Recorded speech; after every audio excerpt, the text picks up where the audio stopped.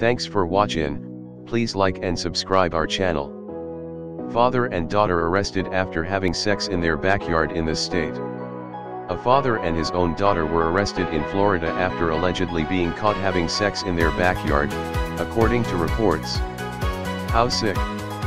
Justin Bunn, 39, and his 19-year-old daughter, Taylor Bunn, were taken into custody after witnesses told Panama City police they spotted them having sexual intercourse in a. Both father and daughter confessed to having consensual sex but claimed it was an isolated incident and that they did not have a romantic relationship, police said. The freaks appeared in court Wednesday each on a felony charge of incest. At a bail hearing, a judge ordered them both to refrain from having contact with each other.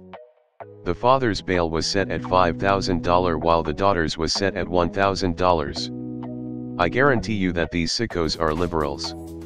Unbelievable.